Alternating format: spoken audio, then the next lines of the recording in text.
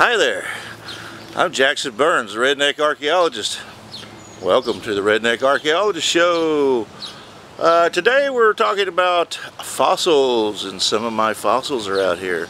Uh, I'll show you some of them. Let's see, we have a chondrite, or uh, some kind of strange tree. I believe that's the name of it. I don't know for sure. I'm not the greatest expert on that. I'm not redneck archaeologist. I'm not what these guys are. Uh, different system style with all that good stuff. But anyhow, we do have petrified wood right over here. You can see still in the matrix. That is from an old 300 million year old tree, most likely. Uh, could be younger, who knows. I don't know nothing about this stuff. I just find it, or it finds me. Here is one that's kind of like this one, except it's much smaller. You can see the little indentions here. This is uh, when they was the imprint of the tree itself, and so whenever the big upheaval came over, this was a big bud pit or something, and the tree fell down, and this fell over the top of it and left its imprint about 300, 350 million years ago. Then we uh, have uh, this one, which is really cool. This has a calamite plus a water root in it. And you can see the water root still in the matrix. Uh, that's very rare. Don't find them very often. There's a piece of calamite in this somewhere. Oh yeah, right there. There's a calamite. So these are pretty cool. Still in the matrix. Ba -ba -ba. You don't find these very much, very often. I've done uh, some retouch on them. Uh, made them look slicker. This is another water root from the tree itself or the plant and it is still in the matrix. You can still see it's right there. It goes all the way through it. Pretty cool huh?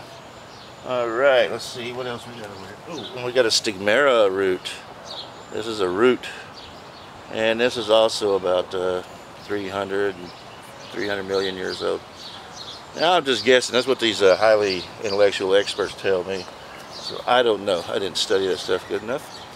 Uh, because I am the redneck archaeologist, as I have said before. Here's another fossil. And I want to show y'all something real quick that I've got crystal in my front yard. Ooh, crossing over. Actually, I put these here years ago. So, hush, Kaya. Actually, I put these here years ago and lost them.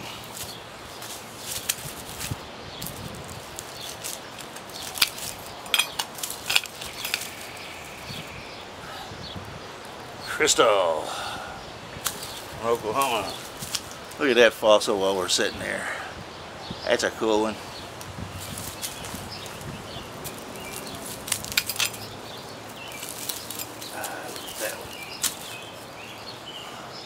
See if I can make it shine.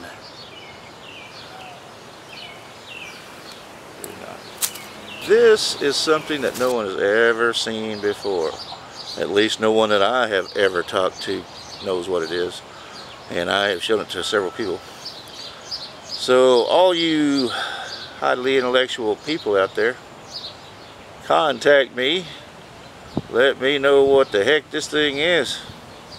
You can see that it's very, very uh, tight woven or whatever it may be. I don't, we really don't know. Nobody knows what it is. Uh, and there are actually, you can see little grooves in them. So it is some kind of a plant. You can see the way they grew. Get up closer either. That's me, Jackson Burns, redneck archaeologist.